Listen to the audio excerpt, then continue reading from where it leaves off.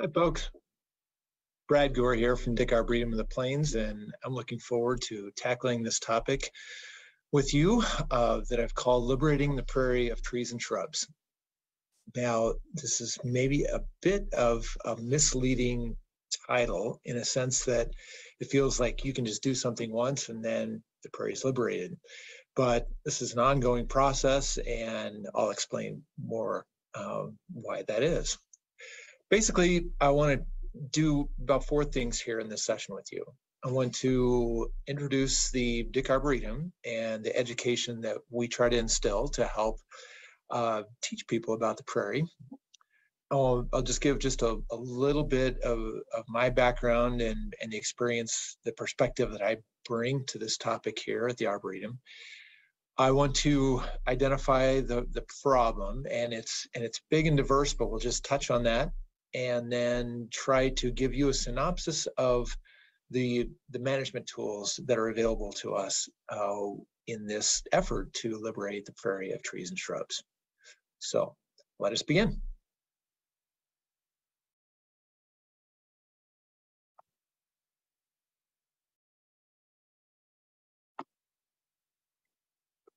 The Arboretum of the Plains is located in Hesston, Kansas, and we have uh, been here for 42 years, and that uh, uh, part of our existence here has been to help teach people about uh, about the prairie and its existence on the landscape, and to um, highlight the the cultural and and natural history of that prairie and why it benefits us as Kansans in this place.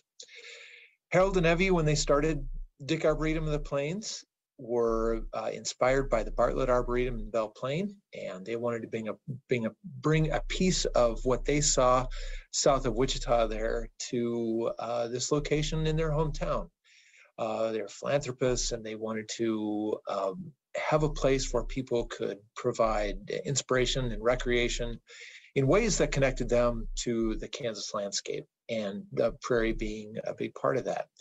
And uh, the mission has, has evolved over time, but in recent times, we feel that it is most, it is best encapsulated by the mission name is cultivating transformative relationships between people and the land. And I hope that you you gather that as we go through uh, this this connection and as we talk about being stewards of the prairie my perspective in bringing coming to this uh, has always been influenced by prairie, both in my undergraduate education at Bethel College in North Newton, where I was able to get immersed in in in prairie reconstruction at that location. Uh, in addition to learning about remnant prairies that exist out there in the landscape, uh, but then really diving into this topic in, in grad school and at the University of Wisconsin, where kind of leaned into the nuts and bolts of, of how to reconstruct a prairie, how to restore existing degraded prairies, and then how to maintain and manage those prairies over time. And you know this can happen with native ecosystems in general, but uh, the prairie has been central to that uh, that inspiration for me uh, over the years, staying in the in the Great Plains and Midwestern areas where prairies have been uh, dominant. Now, as far as this landscape uh, here at the Dyck Arboretum, we have uh, about 30 acres, and you can see on the, the northern part of this uh, here with uh, the kind of the green section. It's the oldest part, the 42 year old part of the Arboretum. And that part has been featuring uh, more of the horticultural or, or gardening aspect of, of teaching people about uh, the native plants of the prairie and how they can utilize them uh, in, in garden settings, in, in urban environments around the places that we live mostly. And you'll see many examples of that uh, throughout that, uh, that kind of northern 13 acres at the Arboretum as we have planted and, and tended and tried to interpret uh, these little prairie gardens uh, that that try to match the landscape and and feature plants in in different ways and assemblages and and trying to do so in horticulturally aesthetic ways as possible.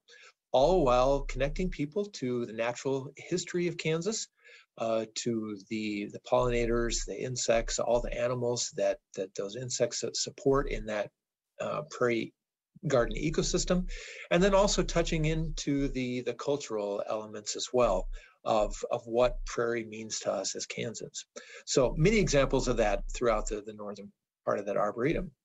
The uh, some of the outlets that we also connect with uh, the, the, our membership and the people in the community include um, uh, our big uh, event every spring and fall that includes the Flora Kansas uh, native plant sale, native and adaptable plants. And um, not only do we try to get plants into the hands of people to help them landscape and paint their landscapes uh, with these uh, native and adaptable plants, but uh, we're also trying to uh, provide education uh, about the prairie uh, that existed here and ways that that prairie can benefit us in our urban settings as well. Another uh, big way that I'm in, involved here at the Arboretum uh, is to try to help uh, inspire and involve teachers, uh, K through 12 teachers and their students in, in the amazing educational opportunities that come with landscaping with native plants as well. Earth Partnership for Schools program is one way we do that, and we've been doing that for the last 15 years. Um, uh, the uh, the next one, our 16th, will be on uh, June 5 through 9 uh, here at the Arboretum in 2023. I should also mention that our plant sale, our next big Flora Kansas event, will be April 20 uh, through 24. But both of these are kind of good outreach ways that we can um, access the public and, and try to inspire them to, to utilize native plants and, and all the educational opportunities that come with those. Uh, the uh, I show this slide again to show the the southern half of the arboretum that's also been part of our educational outlet and is one of the reasons that I was brought on here to staff uh, nearly 20 years ago was to take this uh, the southern uh, about 17 to 18 acres of what was a former agricultural ground and turn that into a reconstructed prairie. And and to do so in ways that uh, additionally it like people get inspired to gardening with native plants in the northern part of the arboretum we want to kind of help give them a flavor of the, that ecosystem uh, approach and what can be on the landscape and inspire restoration of, of prairie remnants and, and to, to restore those on the landscape as well as be inspired by that, that plant community that has shaped uh, Kansas in so many ways we did that uh, around that time, starting in about 2005, by, by collecting seed from remnant prairies uh, throughout the landscape, and doing so within about a 60 mile radius of, of Hesston, Kansas. The Hesston is located here in the northern part of Harvey County, right in that Wellington McPherson lowlands uh, region. That region was dominated by tall grass prairie that uh, didn't have a rocky substrate that kept it from being turned for agriculture. So most of the that physiographic region has been uh, converted to agriculture. And so when knowing that and wanting to restore and reconstruct, reconstruct prairie at the Arboretum, we had to turn to remnant prairies that mostly existed uh, within that 60 mile radius, and a lot of those being where the similar prairies would have been in the Flint Hills, uplands, and the Smoky Hills that were protected by rocky substrates that allow for many prairies still to exist in those locations today. So we set out to, to know a lot of those prairies and collect seed from those, put seed mixes together, and restore that prairie then uh, at the Arboretum using those seed mixes. And it has turned out pretty successful over the last uh, kind of 15 to 17 years. Uh, we've seen those prairies mature and resemble uh, some of the remnants that we were hoping to, to create blueprints of and they're sort of uh, learning laboratories. We do lots of field trips there. We help uh, uh, kind of uh, try to inspire uh, visitors uh, with the possibilities for what how prairie can be can reconstructed like we've done here. And and why that mission is so important is because the original landscape uh, over much of the last 10,000 years has existed in prairie uh, throughout uh, not only Kansas but throughout the interior part of, of North America certainly the the middle part of the United States. And um, and you can see that that extends through throughout that full region and let's focus in on Kansas a little bit more uh, to see the details of what that prairie would have looked like for thousands of years. You see in the, the western part of the state, there would have been short grass prairie, uh, the middle part of the state, mixed grass prairie. The, the eastern part of the state, tall grass prairie, and then uh, you start to get into some more oak woodlands uh, intermixed with prairie as you move further east into Missouri, into the Ozarks. But prairie was certainly a, a major theme throughout uh, all of that region. Uh, and much of that was due to um, disturbance mechanisms, which I'll say more about. Kansas is very well suited to grow trees, uh, which is part of the topic of this conversation that we're having. And, uh, and you can see that in the rainfall map of Kansas. Uh, the rainfall map of Kansas is, is shaped by the Rocky Mountain rain shadow. So off to the west in Colorado, you have the, the rain shadow of the Rockies that affects um, the, the vertical bands of precipitation averages that we have across the state. Western Kansas being, you know, five to 10 inches of rainfall, and then slightly increasing bands as you move away from the rain shadow from west to east, uh, you get more rainfall. And so uh, 20 to 20, 25 inches in central part of the state, and then even more like 40 to 45 inches of rainfall in the eastern part of the state. And so uh, very much affected by the rain shadow, but also uh, it also has an impact on the types of vegetation we have in Kansas as well. Um, I'll say, well, let's go back to that. And that is correlated with that increasing rainfall from west to east of, of increasingly higher and, and more dense uh, grasslands as you move across the state. And um, the, uh, the reason that we have those grasslands uh, is in this Great Plains prairie is due to these uh, uh, these two bottom pictures that are disturbance mechanisms that have been natural parts of the landscape for thousands of years. Uh, the the herds of the bison that would have uh, roamed the plains and and been in big massive herds all concentrated together that will roam through an area and eat all of the vegetation just down to a nubbins uh, before moving on and doing the same in other locations and uh, and then the, the the fires that would have occurred naturally as well. There would have been many lightning set fires that would have uh, been pushed and, and roared across the plains uh, for hundreds of miles uh, due to you know undis, undivided grasslands. Um, and then also indigenous people take, had a big role in uh, using lots of fires in their their hunting methods, uh, clearing areas to, for safety, uh, their cultural methods, lots of lots of fire in their rituals, and so fire was used even more more fire was present more extensively on the landscape due to indigenous people as well. Uh, but all that to say that these two dis disturbance mechanisms uh, really had helped create this sustainable sort of symbiosis uh, on the landscape uh, between um, prairie and and these disturbance mechanisms uh, that that were in place, and uh, it wasn't until like the 1800s when European settlers came on uh, to the landscape and pretty much you know ethnically cleanse the landscape of indigenous people. And along with that uh, we're getting rid of the, the, bison and getting rid of uh, uh, you know, fire as the as agriculture sort of broke up the landscape and kept fires from spreading as as ubiquitously. Um, and so a combination of all those factors pretty quickly broke this relationship between people in the landscape and, and a native prairie ecosystem that existed on the landscape. And very quickly, well, we started to see the demise of the prairie and the invasion of, of trees and shrubs that would have been held at bay for all these all these years uh, out further east.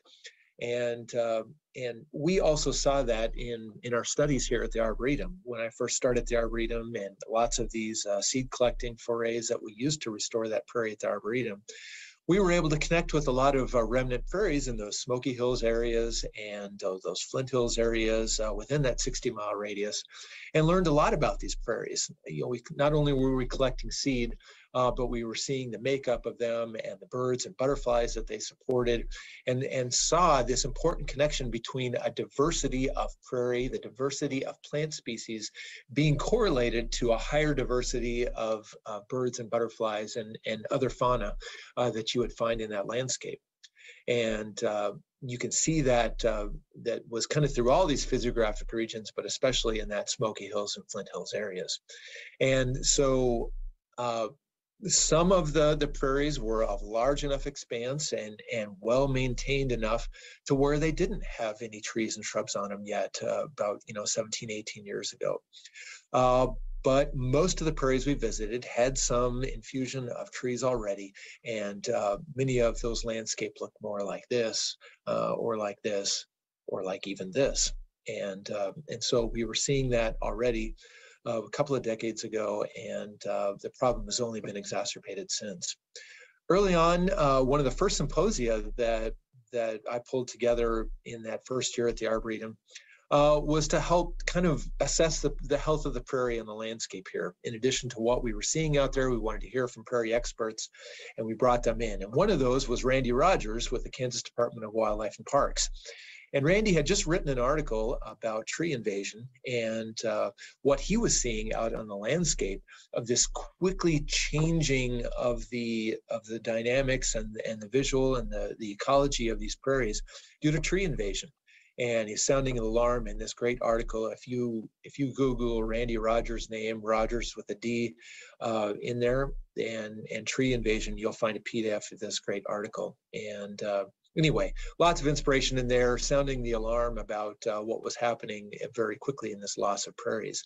These are some of the photos uh, that I pulled from his article. Uh, but you saw many prairies at the time being very open, was just a, you know, kind of a little tiny incursion of some small uh, seedlings of trees. Uh, but it doesn't take long when those don't receive fire or, or you know, intensive enough grazing from like bison the way they would graze uh, that you would see uh, trees become more and more of a dotting presence on the landscape, and trees keep growing up.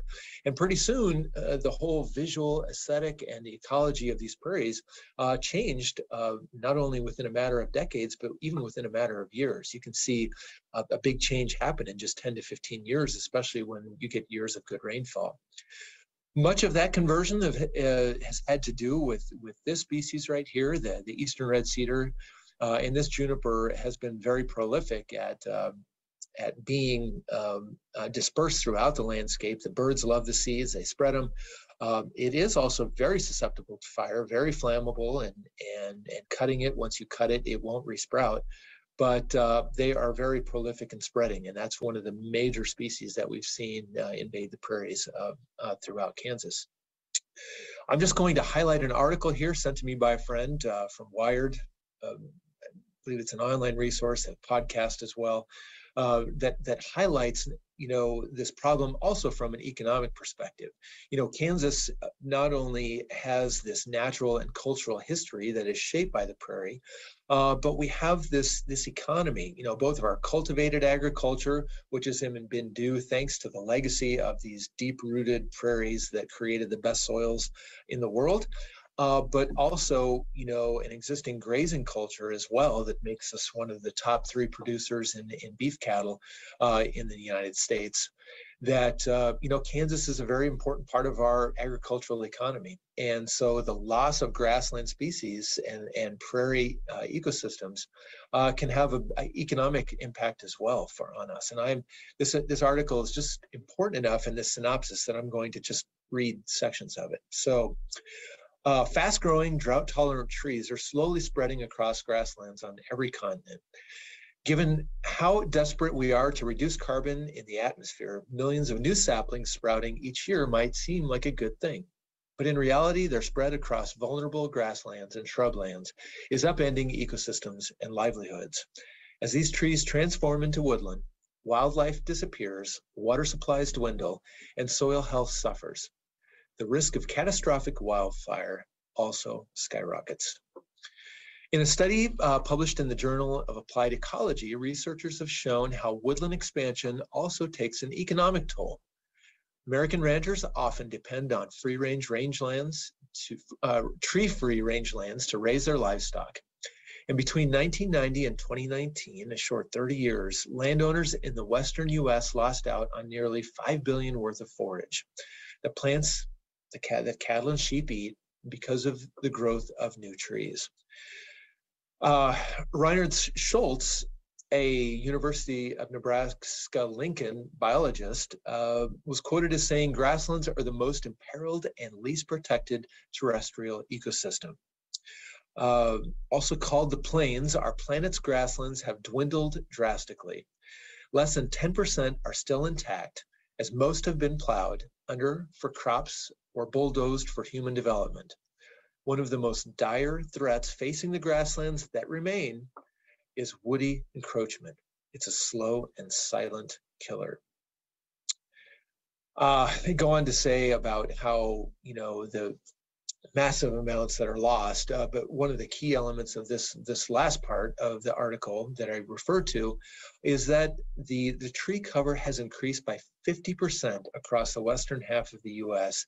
in over the past 30 years and that this is a huge threat and it's something that I haven't really been taking seriously as much recently, but when I've seen some of the numbers, I've heard some other presenters, I've seen how fast uh, some of these prairies are are are turning over uh, from grasslands uh, to tree-covered landscapes. Um, it, it's becoming obvious to me that this is really a dire situation for Kansas and why I wanted to, to cover this topic as part of our native plant school. Uh, you can see with this, uh, this graph on the left uh, that they show that just in, in from 2008 to, to 2016, less than a decade, look at that just almost exponential uh, rise in, in tree cover expansion uh, that is happening. Uh, you can see on the right side there then um, during uh, that 28 year period or an 18 year period from 2000 to 2018 uh, from aerial imagery how how quickly that severity uh, of woodland transition has occurred uh, turning grasslands into tree covered landscapes. And I want to zoom in a little bit more on that particular image to see how much of that eastern part of the state, especially where the higher rainfall amounts are happening, of how quickly that is happening without the intensive uh, uh, disturbance mechanisms in place. And it's not that those disturbance mechanisms aren't happening. Uh, they're still happening in the Flint Hills, and they may be happening even at higher rates than they once did, say, you know, 40, 50 years ago. But the problem is, is the number of seed sources that have infiltrated that area have just exploded. So the, the amounts of disturbance that are happening in grazing and in fire just aren't able to keep up with the barrage of, of new seedlings and new trees uh, that are coming onto the landscape. And this is something that wouldn't have occurred 100 years ago because those seed sources just weren't in place. And so uh, what you're seeing in these areas, and especially like, uh, you know, one of the, the most valued uh, areas of prairie left in Kansas, this Flint Hills uplands uh, ecoregion that you see um, kind of in the, the, the middle eastern part of the state. Uh, is really astounding the amount uh, of, of tree invasion that's happening there. This is from a couple of images uh, presented by Tony Capizzo. He's uh, the Flint Hills Ecoregion Manager for the Kansas chapter of the Nature Conservancy. He was spoke as part of our winter lecture series at the Arboretum here in 2021, showing that in just you know 29 years, how much has been lost. And it's not unlikely uh, to think, like uh, that article showed, uh, that 50% of the grasslands have been lost uh, in just the, the small amount of remaining prairie that's out there. So not only do we have a little bit of prairie left, but we're losing that prairie uh, at an astounding rate in, in recent decades. So that highlights the problem. And uh, I want to get into now the solution. Trying to figure out not only using historic disturbance regimes that I've already identified, you know, with fire and, and with grazing, uh, you know, humans now have to be a really integral part of bringing those those disturbance regimes back to the landscape even more so as we try to fight this higher intensity of trees on the landscape that have not only migrated from east to west in the absence of disturbance uh, disturbance regimes, but uh, also, as we've had more uh, human inhabitants on the prairie, and we've brought with us trees and shrubs that we've planted in our landscapes, we've just exponentially increased the number of seed sources that continue to uh, escape and invade uh, out into those prairie areas. So, indeed, uh, trying to use humans to bring fire back in the form of prescribed burning and trying to uh, do rotational grazing that more simulates what the bison would have done uh, through cattle grazing. I'll say more about each of these two uh, here in a minute. Uh, also, we will um, introduce uh, some other uh, types of disturbance regimes that are kind of new or maybe simulating what burning and grazing uh, can be or, or, provide alternatives. And those would include haying, mowing, cutting, uh, spraying with herbicides, and, and grinding. Um, and I'll say more about each of those as we move forward as well.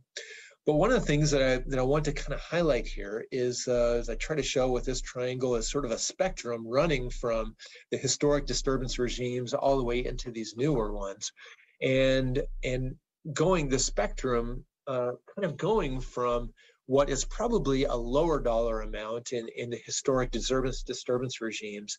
Um, and as we have to get more intensive with the bigger uh, bigger trees and more equipment, uh, that that uh, uh, progression of, of, dollars invested to get rid of trees will only go up. And uh, so, kind of the take home message of that is that if we can start earlier and use some of these, you know, wider spread methods of historic disturbance regimes, then, then we can probably try to tackle this problem in, in a little uh, more economic way. Uh, but we'll see how much more expensive it gets when we let it get away from us.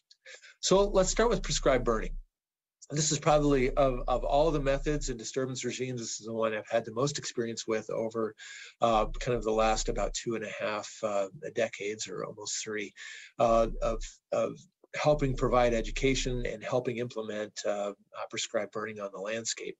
And I can't, in the short amount of time, uh, teach you how to do uh, a safe and effective uh, prescribed burn, but I will just highlight some of the the important uh, conditions that need to be in place when we when we do think about implementing a prescribed burn.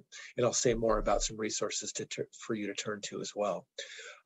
good fire break is is the best preparation you can do for any prescribed burn uh, getting a, a really uh, low mowed, as wide as possible uh, fire break uh, to be able to move around the end of your, your burn unit and, and be able to have water vehicles have access to the site, and then making sure that it is as clean of debris as possible. That is probably the best thing you can do uh, to provide a, a lower stress and safe uh, prescribed burn. When it comes to the day of the prescribed burn, there are two things that you really need to uh, most carefully uh, watch, and those are relative humidity and wind speed. Relative humidity uh, generally is pretty simple, between 20% and 80% is what you're aiming for. 20%, it's almost impossible to put fire out. 80%, it's almost impossible to start fire. So somewhere in like a 30 to 70 range is generally probably the, the desired conditions. And uh, even closer to the middle, to the 50% is, is, is, is kind of what would be ideal conditions. But uh, wind speeds, you won't uh, be able to get uh, permission to start a prescribed burn from the powers that be, uh, 911 dispatchers. If it's over 15 miles per hour, and it's nice to have a little bit of wind, something like closer to around at least five miles per hour, uh, so that you can control fire. Uh, if you have no wind, uh, fires can be shifty and move back and forth. And, and if you have shifting winds, that can be dangerous conditions for controlling fire. So those are some of the general conditions that you look for in doing a burn. I'm just going to review uh, some of the basic uh, protocol that goes into this as well that you will see uh, with any recommendations in starting prescribed burn. First of all, in thinking about with all those conditions that I mentioned, with an established fire break, uh, making sure you have the decent relative humidity guidelines in place, and then thinking of knowing where your wind comes from, uh, it's always safest to start with a back burn or the downwind side of the uh, of the, the fire unit as much as possible.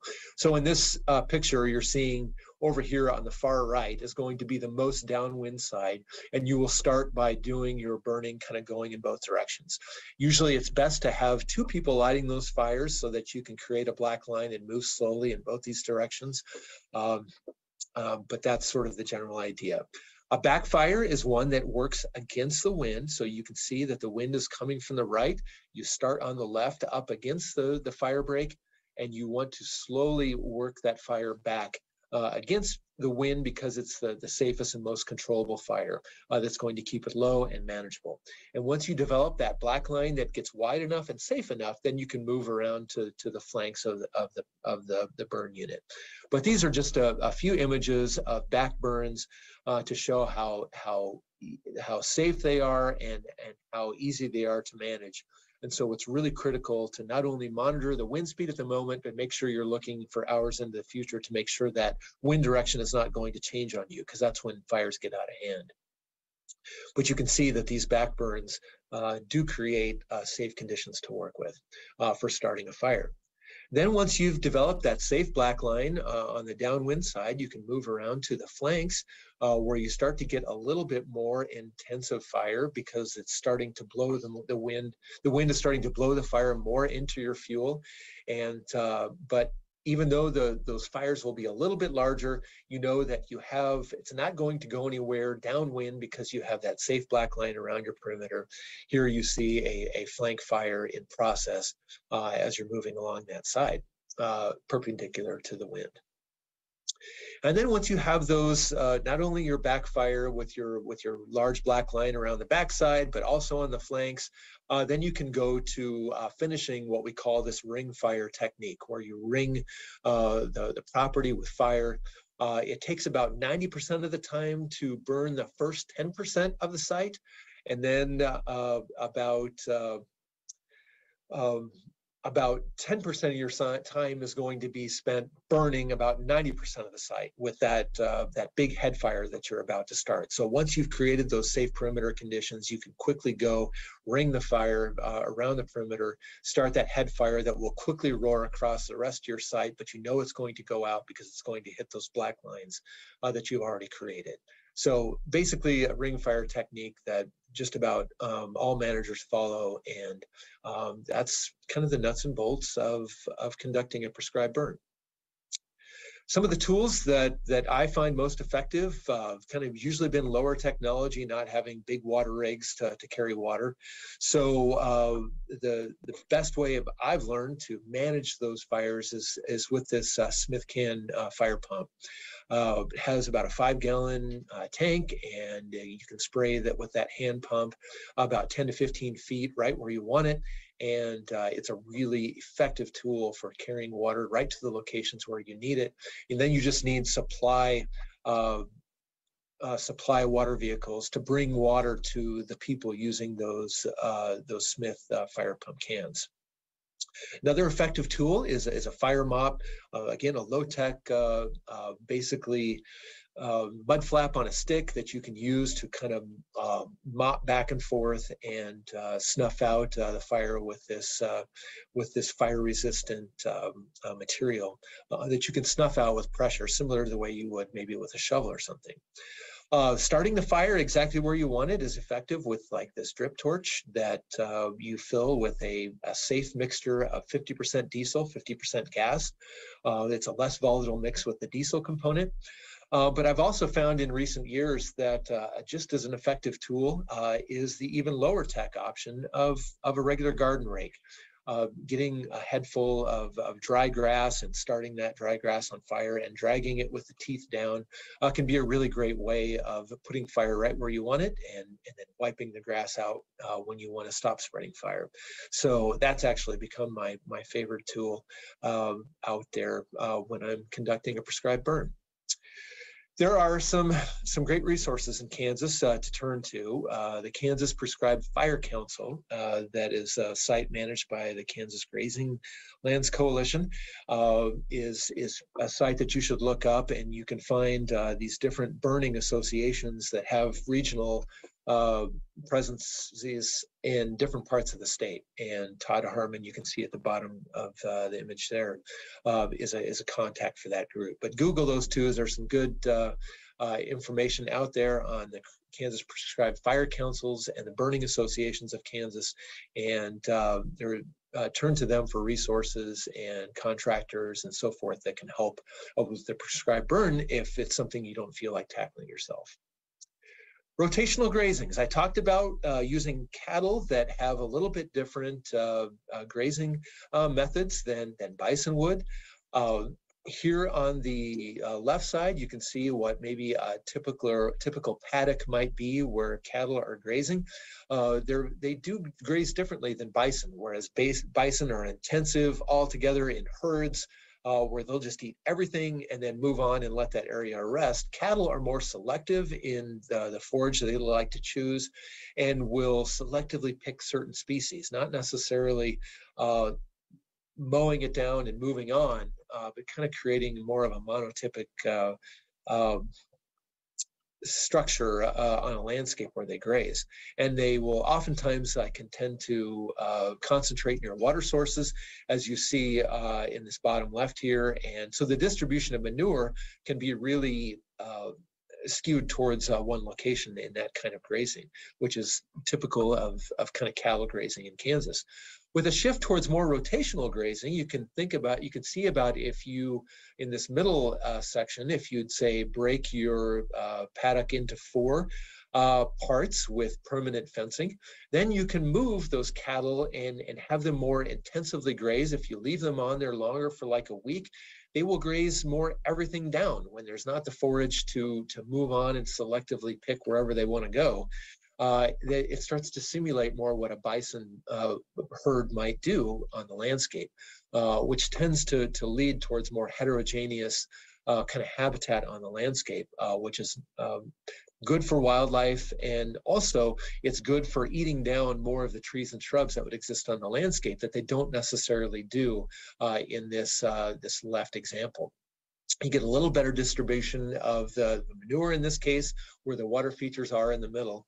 Um, but you can really distribute that in, in an intensive rotational grazing uh, experience where if you have the permanent fences of four quadrats, but then you have electric fences where you can really pinpoint and focus the grazing uh, for intensive times uh, in those each of those quarters, and then even give longer rest periods for some of the, the areas that aren't being used.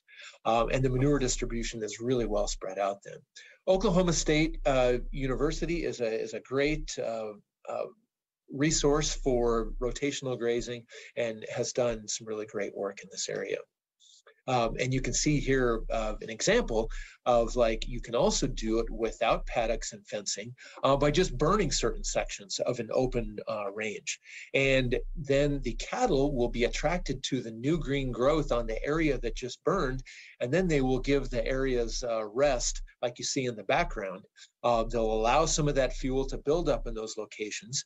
And then once they've really grazed down all the areas in here, including some maybe the trees and shrubs that would have uh, persisted in these areas, then the, the new uh, kind of higher growth in the background will become uh, a new feature for a prescribed burn in the following year, and then the cattle will rotate uh, to be attracted to that area. And so if you mix up your, your burning regime on a landscape, you'll naturally move the cattle around in ways that would more simulate uh, what you would have seen in, in bison grazing situations. And so, as I stated a little earlier, it, it leads to a more heterogeneous uh, kind of uh, texture on the landscape, which is good for having more diversity, habitat for insects and birds and, and, and other wildlife. And, uh, and again, it does a better job of that intensive grazing in certain locations of keeping the trees and shrubs down as well. So uh, just a, another model to follow. And, and you can see that with grassland birds, uh, that rely on different types of habitat. And in this, you can see like killdeer, larkspur, sandpipers really like a, a, a, diminished habitat structure, whereas like Henslow sparrows on the other end of the spectrum will really like uh, dense cover. And uh, so if, giving more of a mix of those types of, of, of cover on the landscape means more diversity of grassland birds. So a, another good side effect of, of rotational grazing. And you're also getting some income off the land. Another uh, income producing element uh, that is good for uh, being stewards of prairie is uh, haying and uh, using that hay to, to help feed livestock and also being able to effectively rid sites of, of trees and shrubs. And haying has also uh, been proven to be one of probably the most excellent ways of managing prairies for conserving biological diversity. And with that, you are just cutting it once, maybe twice at the most, and uniformly. And so the existing diversity of, of grasses and wildflower species in that prairie uh, helps stay in that condition uh, as best as possible. And so for some of the, the most diverse and valued remnant prairies in Kansas, they've shown that uh, hay meadow guides uh, like this one produced by Kindscher and Basinski again, if you Google native prairie hay meadows, the landowner's management guide, you'll find this wonderful uh, detailed guide on a PDF that's free to review. Uh, check that out and you'll see why hay meadows is another excellent tool for, for maintaining prairie and keeping them free of trees and shrubs. Now, if more trees and shrubs start to invade into a prairie and it takes a more intensive approach and some bigger materials and, or bigger machinery, and you start to get into kind of bigger mowers and rotary brush mowers uh, that maybe hay machines uh, can't can't take on. With hay machines, you're you're dealing with uh, kind of a not ability to take on larger caliper uh, trees and shrubs. And so then you get into you know stronger, higher horsepower rotary brush mowers that can that can can be that that uh, solution. Uh, for for a really kind of a small swath of, of cut, you can get into the the more uh, reasonably priced uh, walk behind brush mowers. Uh, this is one that I've I've been very familiar with utilizing. Uh, it can be hard work, uh, but it is a lower cost option uh, for being able to create fire breaks and and kind of keep some areas mowed down. Um, as you're you're trying to manage the early stages of invasion of trees and shrubs, so that's that's one good tool there.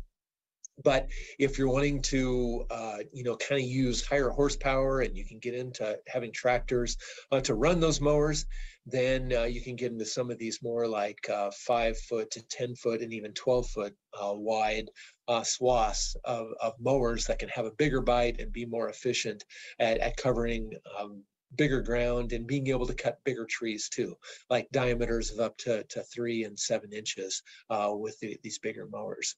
So those are, uh, as you get into to, to more invasion, you can get into some of these, these bigger, higher horsepower tools. Okay, now let's say that uh, the woody invasion is is getting uh, even beyond what we're talking about as small little saplings and so forth, and we need to start cutting trees.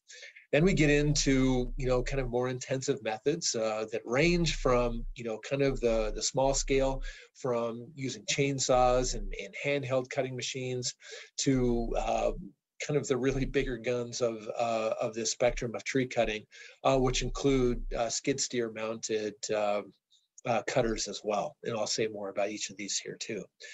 Uh, I've had in just re- last couple of years uh, a lot of fun helping uh, some friends and, and landowners that are trying to, to maintain this problem of tree invasion on prairies. They're uh, stewards of, of, many acres, and and not only do they see you know chainsaws as an effective tool of slowly kind of eating into the trees that have invaded on the prairie, but they see it as fun. It's a it's a, it's a fun ritual of stewardship in addition to the prescribed burning uh, they're doing on the landscape. But when those burns don't kill certain trees, then they go after them during the the fall, uh, winter, and spring months with uh, with these kind of tools of chainsaws and pole saws.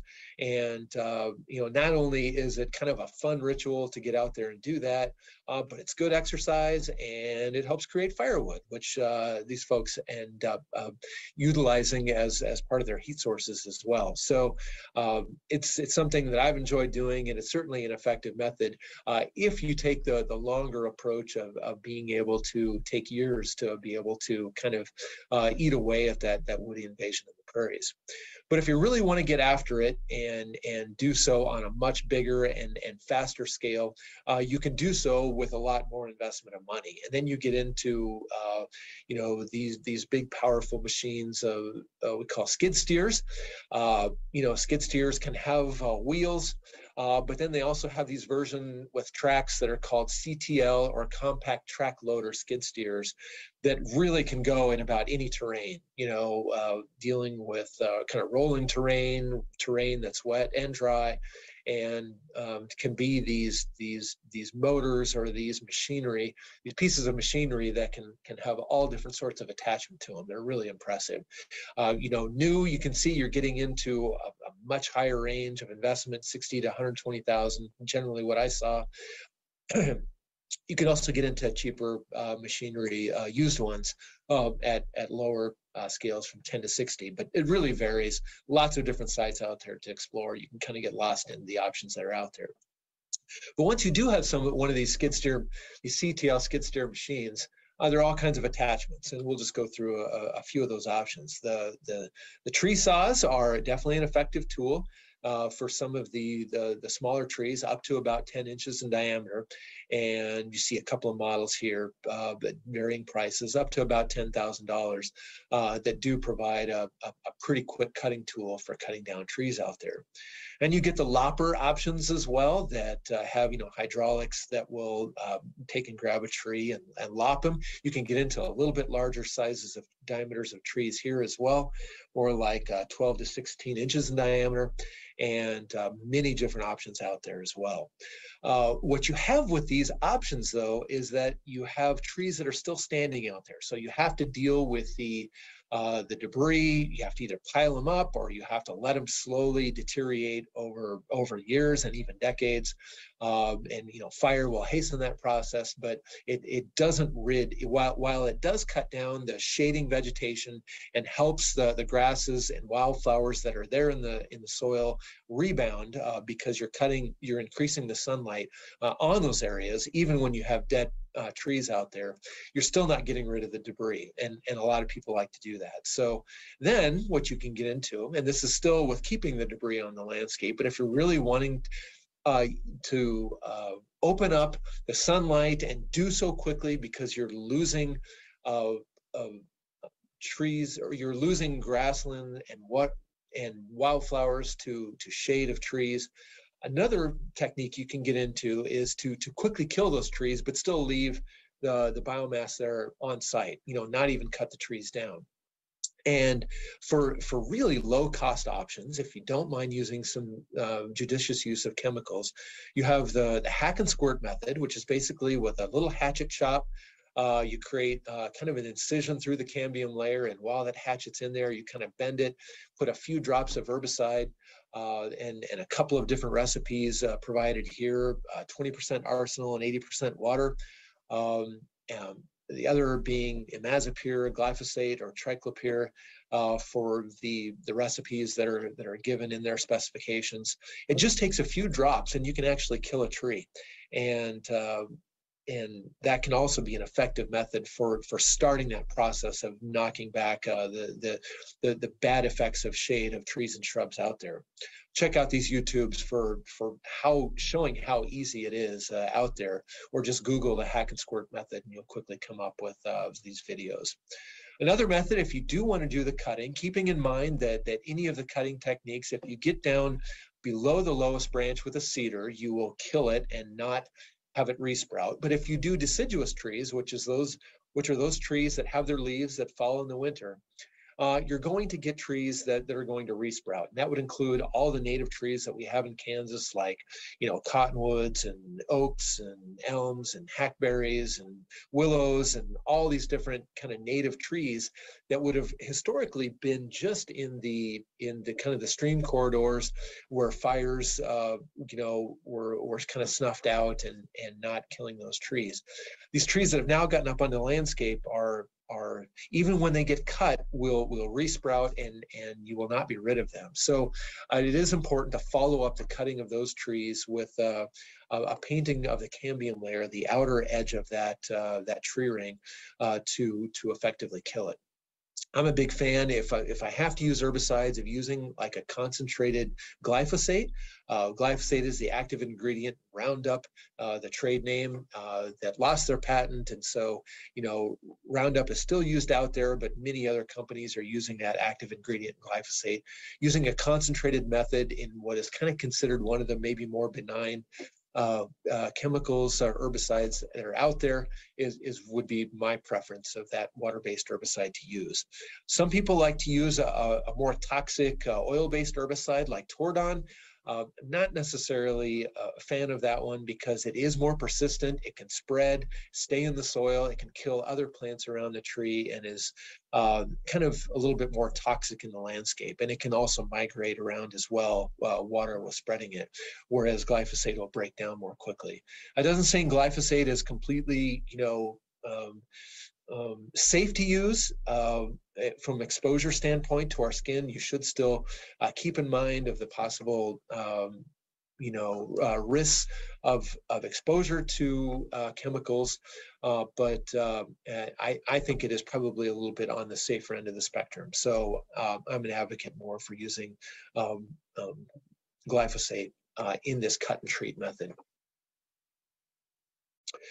if you really want to get into then uh, uh, higher uses of, of, herbicides, you can, um, like say for blackberries, a real problem in the sand hills of like Western Harvey County, close to where we are. Uh, then sometimes a foliar spray is what uh, land managers managers will use out there in addition to say mowing and, and burning. Um, so just kind of one more toolbox if it's one that you're willing to use. However, this uh, not only is it more of a broadcast use of chemicals, uh, but it also does take uh, kind of bigger and more expensive machinery to dispense that chemical out on the landscape. Here's just an example of probably uh, you know one of the one of the more effective and and higher cost uh, options out there.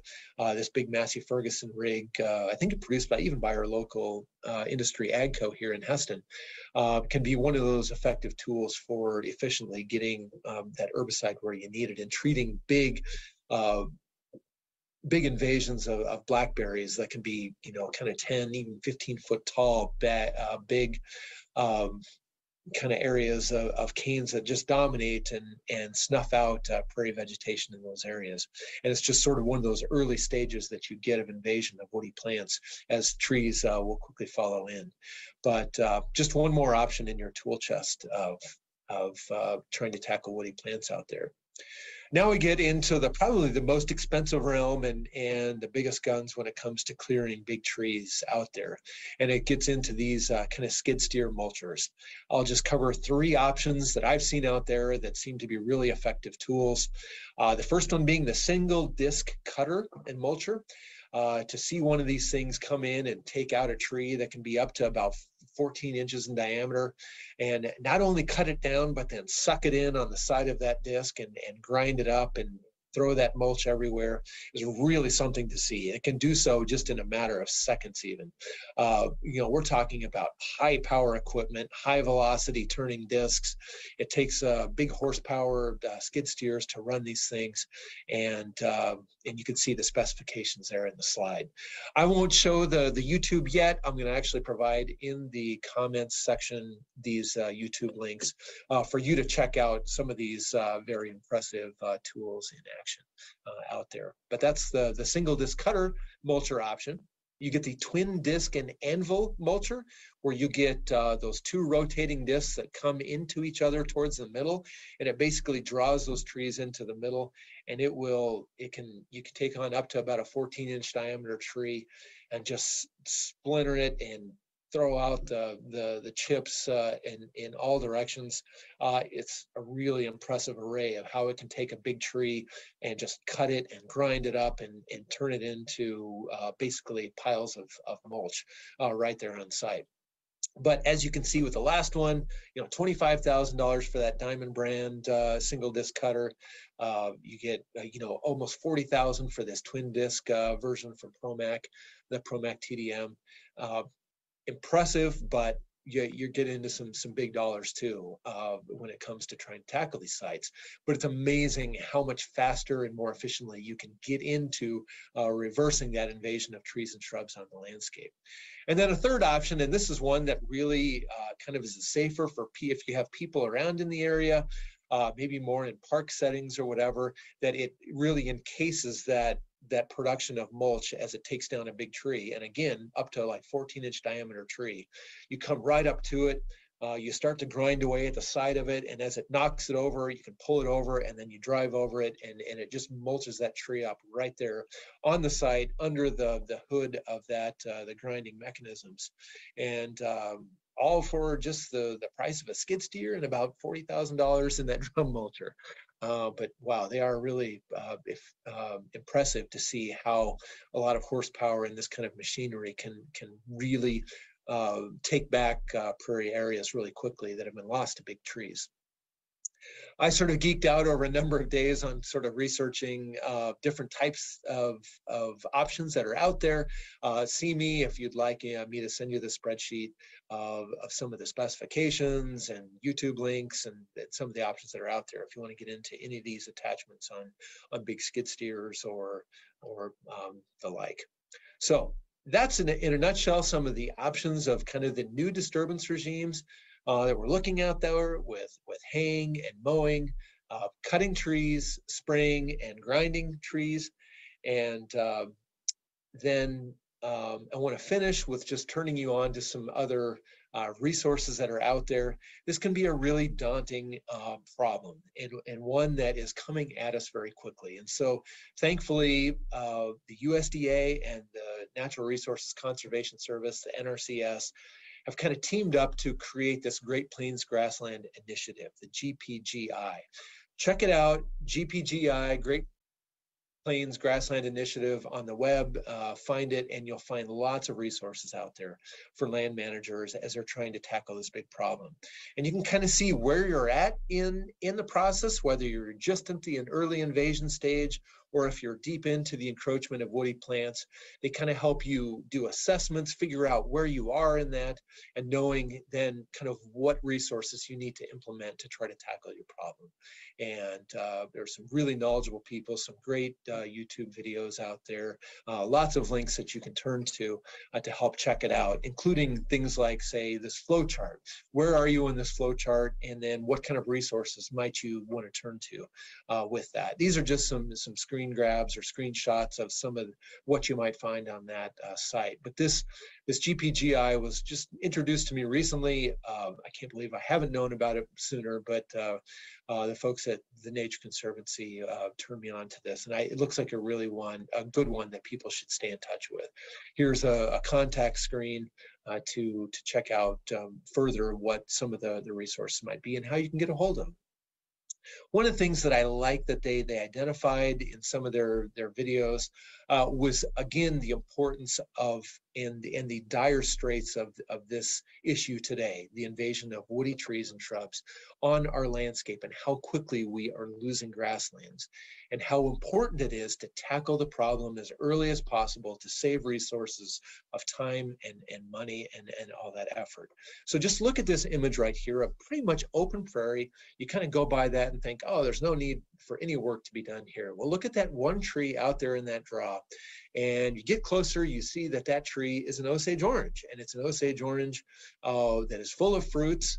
Um, and they just uses some of the, like on this branch, you can see there are 30 fruits at 250 seeds per fruit amounting to almost 8,000 seeds uh, that are coming right in that small uh, little seed source. And so that can quickly get out of hand as those seeds start to disperse.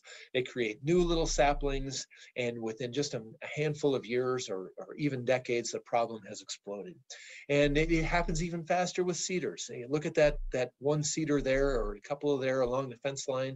Uh, each one of those cedars they estimate can have you know a million and a half uh, seeds produced annually if that's a female tree. And you know the birds love to, to eat those seeds and spread them. And and again that that problem can can can really get out of hand quickly as those uh, seedlings spread across the landscape. And i show this slide again just to show how fast it's happening. Here you know in a matter of decade you're seeing this exponential growth and this loss of grasslands. This problem needs to be dealt with now, folks, and it needs to be hit really hard. If we're going to conserve this legacy that we have in Kansas, this grassland prairie uh, legacy that is important as our, our cultural and natural history in Kansas and, and also supporting our economy.